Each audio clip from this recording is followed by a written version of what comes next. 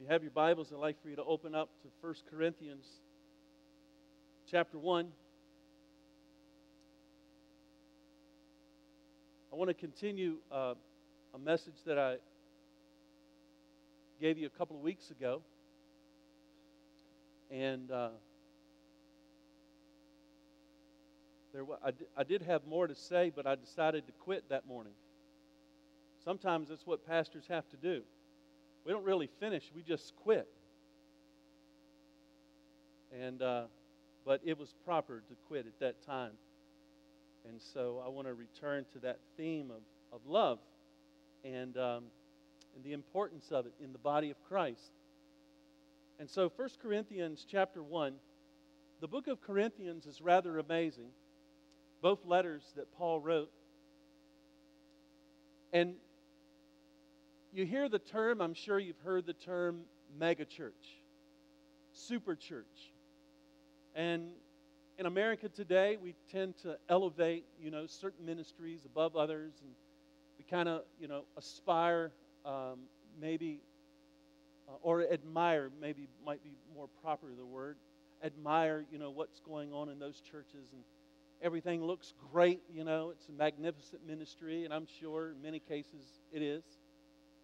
But not everything that looks big and glorious on the outside necessarily is so on the inside. The Corinthian church is probably the first megachurch of the New Testament era. And the reason that we know that is because Paul kind of tells us that. Um, he starts off his first letter to this church that he planted, he helped to establish, he helped to plant this church. And he starts off by saying this in verse 4 I always thank my God for you and for the gracious gifts he has given you now that you belong to Christ Jesus. Through him, God has enriched your church in every way. Now, does that sound like a church to admire? God has enriched your church in every way. I mean, I would like to be that kind of church, wouldn't you? That God is enriching us in every single way? Wow. He says, with all of your eloquent words and all of your knowledge. And so, you know, this was this was a, a, a wonderful church. I mean, they were smart. They had they had a lot of knowledge.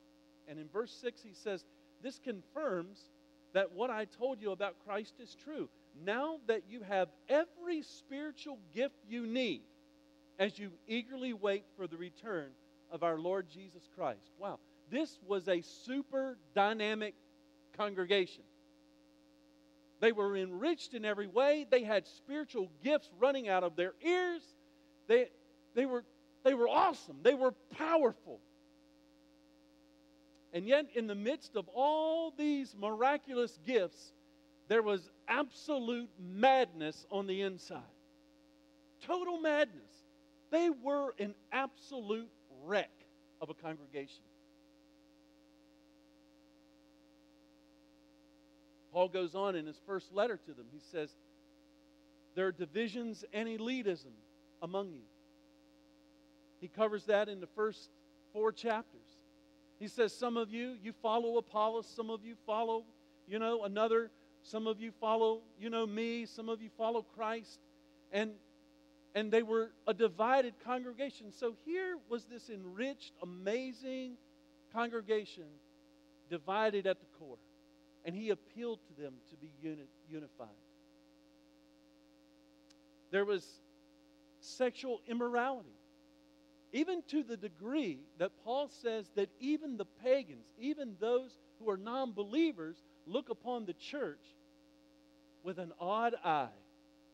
Like, really? the, the situation he referred to, he says in chapter 5, he says, I can hardly believe the report about the sexual immorality going on among you. He said, something that even pagans don't do. I am told that a man in your church is living in sin with his stepmother. You are so proud of yourselves but you should be mourning in sorrow and shame, and you should remove this man from your fellowship. And so, here, this megachurch of spiritual gifts and being completely enriched were very tolerant of just gross sin. He even says in 1 Corinthians 5, you know, he kind of addresses, you know, today it's very, very popular, and, and I think that some of our theology has swung a little too far in order to make a correction. Um, Christianity, I, I believe, has a history of being a bit legalistic, especially here in America, you know, and became a, a, a religion of, of rules. And as a way to bring correction to that, uh, we began to bring a more focus on the doctrine of grace. And, and yet, in some circles, the grace theology has swung the whole other side of the pendulum, where now we're almost tolerating sin to a degree that we're afraid to even speak about it and even justify it, even theologically. Like, well, the Bible says not to judge one another. Do you know that the Bible actually says we are to judge each other? Did you know that? you want me to show you? You want the verses? It's right here. It's in this situation where there was in the fellowship of the of the church, there was a man who was having a sexual relationship with his mother-in-law. And Paul is addressing that in this mega church full of spiritual gifts, this super church. And in verse 9, he says, When I wrote to you before, I told you not to associate with people who indulge in sexual sin. But I wasn't talking about unbelievers. I wasn't talking about those outside the church. I wasn't talking about unbelievers who indulge in sexual sin or, or are greedy or cheat people or worship idols. You would have to leave this world to avoid people like that. Verse 11 I meant that you are not to associate with anyone who claims to be a believer yet indulges in sexual sin or is greedy or worship idols or is abusive or is a drunkard or cheats people. Don't even eat with such people. It isn't my responsibility to judge outsiders, but it certainly is your responsibility to judge those inside the church who are sinning. God will judge those on the outside, but as the scripture says, you must remove the evil person from among you. Now, keep in mind, this was this was a person who was willfully sinning, and it was being tolerated in the church. And the church body and its leadership in the church of Corinth were accepting of this outward sin. And so there was no truth to really come against it. And Paul says, no, as the body of Christ, one of our the most loving things that we can do for one another is to approach each other with the truth. And and yet today it's very popular to pull out uh, you're judging me card, right? We got it right on the back. Hey, stop judging me. And we, we do that as believers. As believers. You know, if someone is, if I am walking in sin, if I, as a matter of fact, you know, we need to be in accountable relationships so that people actually are able, we position ourselves intentionally for people to speak into our life in that way. And so, as your pastor, if there's something I am doing that is sinful, wouldn't it make you feel a little safer to know that there's people that are actually speaking into my life? Or would you rather me pull out the judgment card all the time? Hey, don't say that to me. You're judging me. Hey, you're judging me. Stop it. You can't judge me. You would be out of here in a quick minute. At least you should be. Everyone, including pastors, need to be in accountable relationships where if our life is out of line with the will of God, that we have people in our life who are willing to lovingly judge us. And yet, the whole grace theology has, has shifted so far off center, so far. It's, it's erroneous that now we can't even call sin sin and we even teach don't confess sin. And it's wrong. And in the church of Corinth, that's exactly what they were dealing with. Is that people were afraid to even even talk about sin. And so here was this super church full of spiritual gifts. They were amazing. Paul commends them immensely. And yet there was madness in the midst of miracles, there was madness going on. They looked great on the outside, but were a mess on the inside. They were dabbling in idolatry. He goes on to address that. There was chaos in their worship services. I mean, he has to correct them on several different levels of madness. He's like, when y'all come together and you have communion, you look just like a wild party happening in the church. He's like, you are, you are desecrating the very thing that Christ said to uphold as sacred. And they were coming together, and, you know, they were, rather than, you know, approaching the communion table with, you know, humility and with, with authenticity, they were desecrating it, making it into a potluck meal. That's what the Bible says. Do you know that? Potluck meal is in the Bible. They were treating it like a potluck meal. And so, you know, there was chaos. In the midst of all of this, there was chaos. And then I shared with you the other week, and I just want to remind you again, that in the middle of all this, in the middle of writing these, this letter, Paul points out something very, very important. He says, guys, you can have all the spiritual gifts you want. You can have all the knowledge that you think you have. You can have all the miracles, raising the dead. You can have all that, all you want. Says in 1 Corinthians 13, if you have not love, you have nothing. And so, is it possible to look super spiritual on the outside and have no love on the inside? The answer is yes. The answer is yes. I think Paul loved the Corinthian church, he planted it. And he was speaking these truths because he so loved them. He loved them. Love. Our goal as a body of believers here in this church, I can at least say for us, can't speak for anyone else, is not to be the most spiritual church in town, not to be the most gifted. But one thing we want to be known as as a loving place. A place that is deeply in love with God and not afraid to be deeply in love with each other. If the Corinthians church would have taken their eyes off of trying to be too spiritual and set their eyes on God and set their eyes on each other, they could have cleaned up this mess very easily. Turn in your Bible to Luke chapter 10, just to further illustrate this for us and help us kind of make it practical this morning. Luke chapter 10, verse 38. I'm sure many of you have heard this story many times. Some of you, maybe this will be the first time. But Luke 38 is a wonderful story. It's a word picture. It's something that happened, but it's, but it's a wonderful word picture for us this morning to get a hold of what it means to love as the body of Christ. In verse 38 says, As Jesus and the disciples continued on their way to Jerusalem, they came to a certain village where a woman named Martha welcomed him into her home. Her sister Mary sat at the Lord's feet listening to what he taught. But Martha was distracted by the big dinner she was preparing.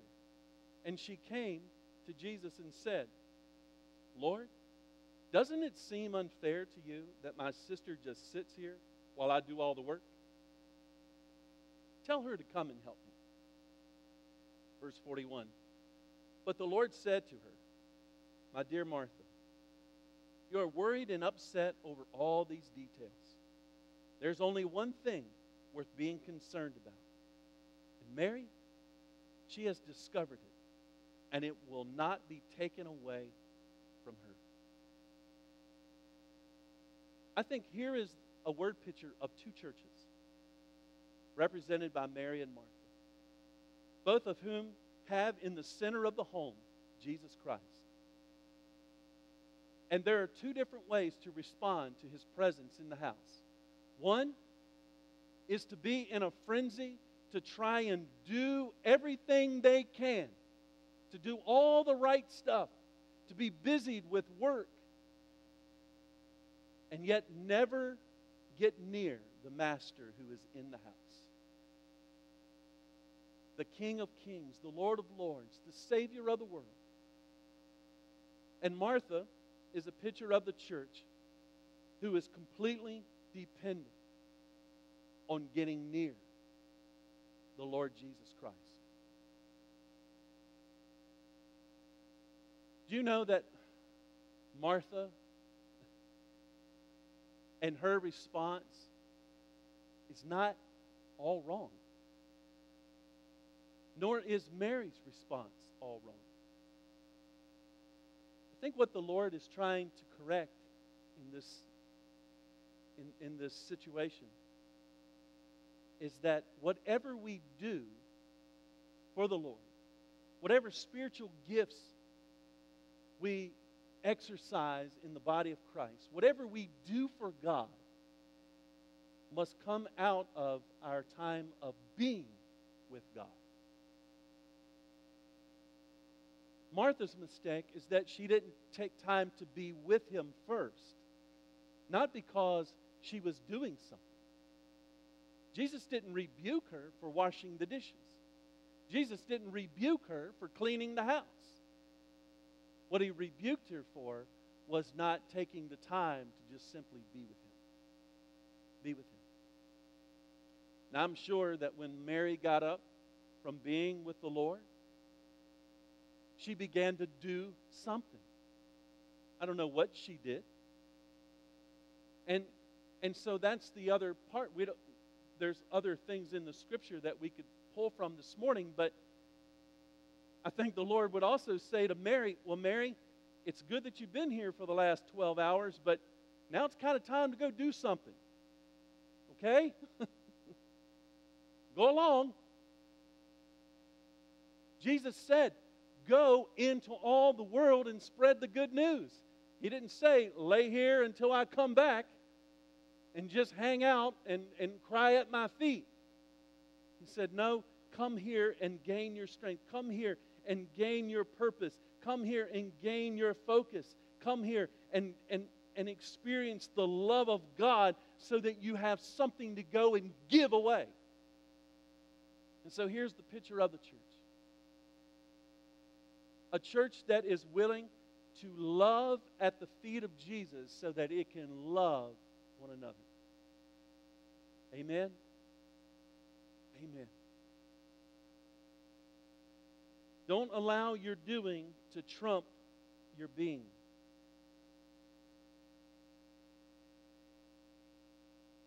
The church today is full of Marthas and Marys. We're living in the same place, but they also represent two different attitudes toward the Lord and toward the body of Christ. Martha's spirit says, let's get things done. Mary's spirit says, let's get together. And again, both are relevant. But the balance must be struck when our doing for the Lord flows out of our being with the Lord. That is the balance. Our doing for Him must flow out of our being with Him. So, how do we love?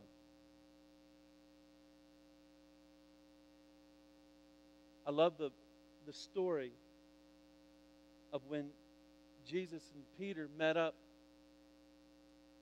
after his death, and Jesus came back and spent time with his disciples. And, and one day, Peter, uh, Jesus looked at Peter in the eye and he said, Peter, do you love me? Peter said, Absolutely, Lord, I love you. You the man. You are the man.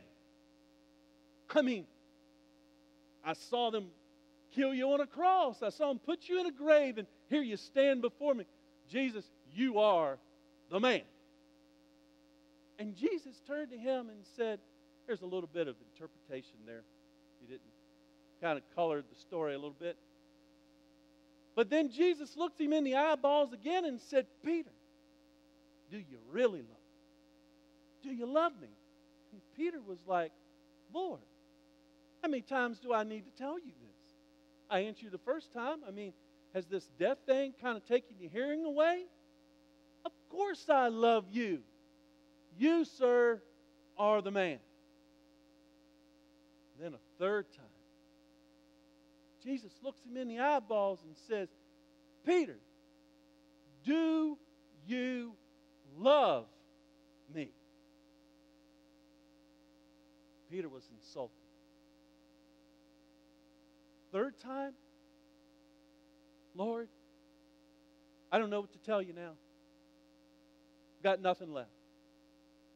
And Jesus goes on to tell him, He said, Peter, I, what, I, what I want to know is are you willing to lay down your life for me? Now, for all the Bible scholars in the house, you may know the significance of that story when you interpret the word love in that exchange of the conversation between Jesus and Peter. The first time when, Pe- when Jesus looked at Peter and said, Peter, do you love me? Peter says, Yes, Lord, I am, I phileo you. Phileo is a Greek term where we get the word Philadelphia. Philadelphia is known as the city of brotherly love. The city of brotherly love. And so Peter says, Jesus. Well, of course, you're my brother. We're brothers.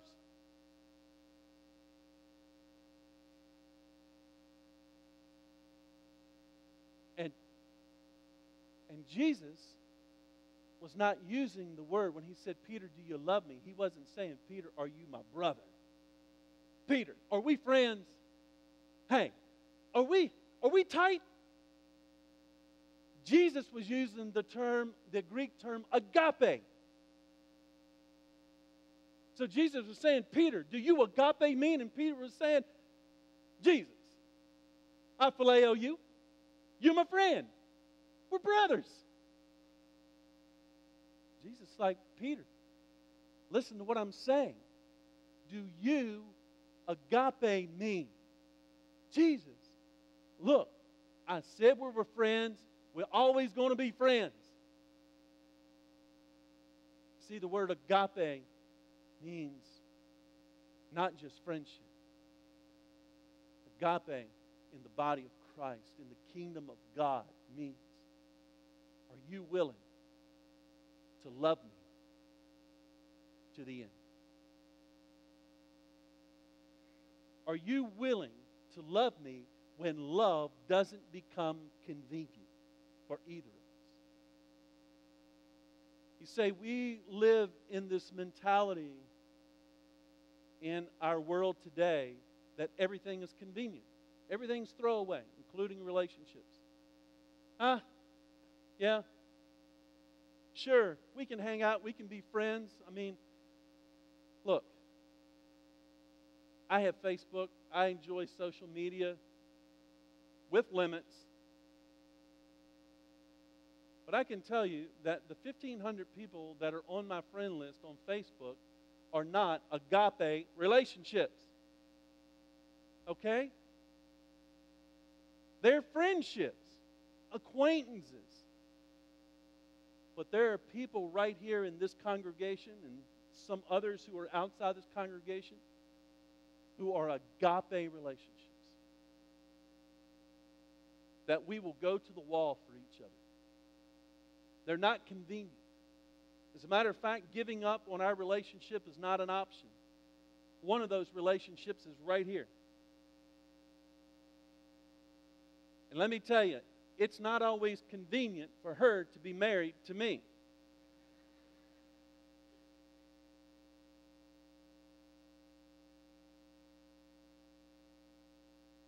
And yet, we live in a world that says, look, when it no longer becomes convenient, it's okay.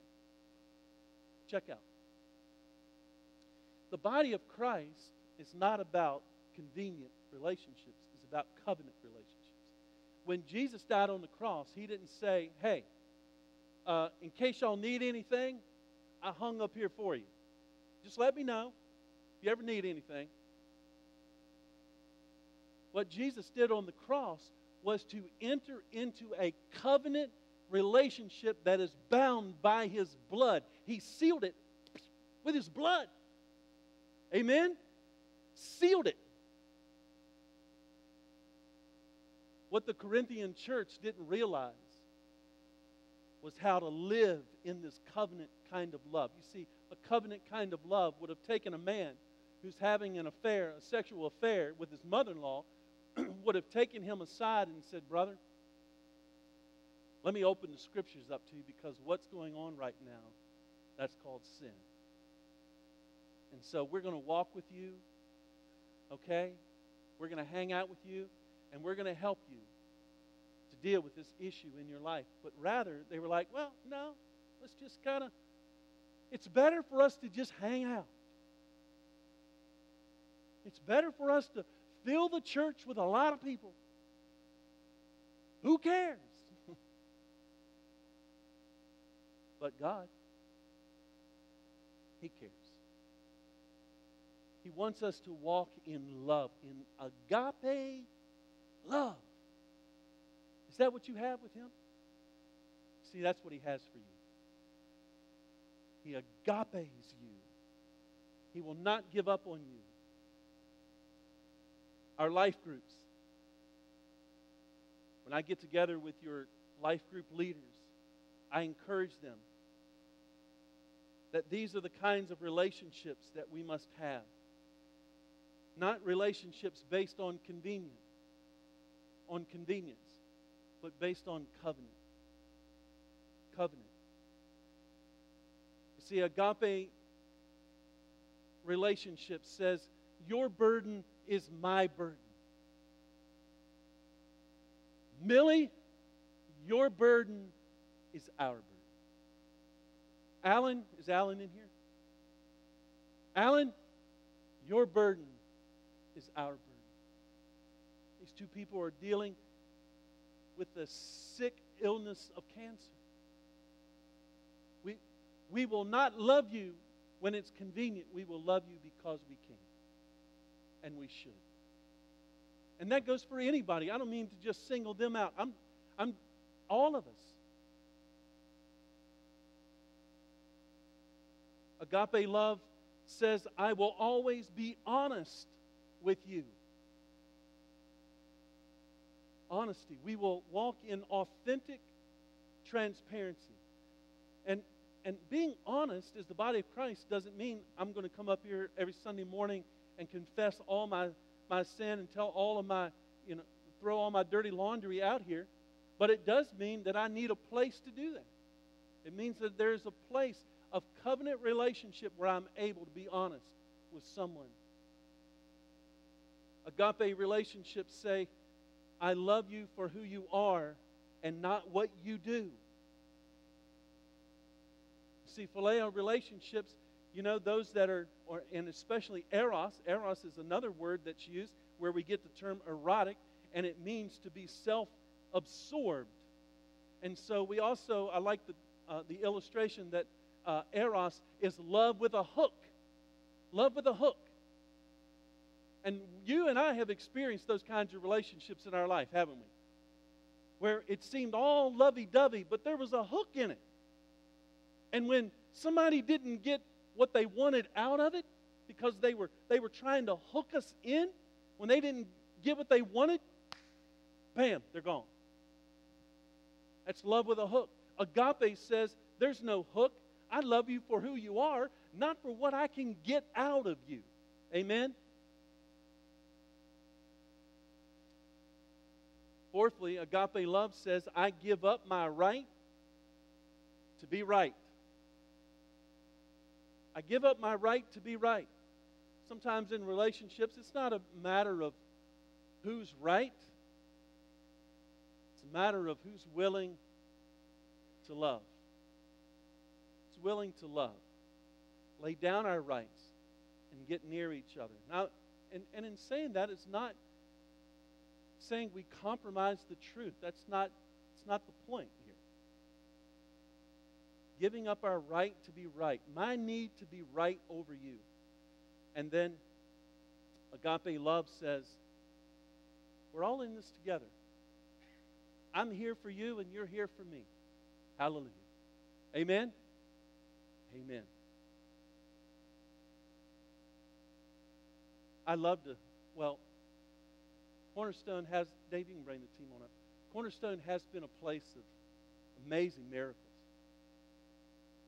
They had a healing service here not too long ago, and wow, what a powerful night of healing that was. Amen? There were miracles, and there's been miracles of marriages restored here. There's been miracles of friendships restored, you know, relationships. There's been miracles of people being called out and sent out to the mission field. There's been miracles of, of people being raised up to plant churches. There's been miracles of, of people coming to Christ, salvation. And I want this to be a place of miracles just as much as you are. But without love, means nothing. Without love. Without love for our brothers and sisters in Christ. Without love for our Lord Jesus Christ. Without loving on God. Without loving on each other. Without loving the world around us. Those who are lost means nothing. Absolutely nothing. So, my invitation to you and to me this morning is let's put on our agape love. Let's not give up on each other. Now, you can't force people to respond in a relationship. You know that, right? You can't force it. All you can do is offer agape. So let's put on our agape and offer it to each other. Amen?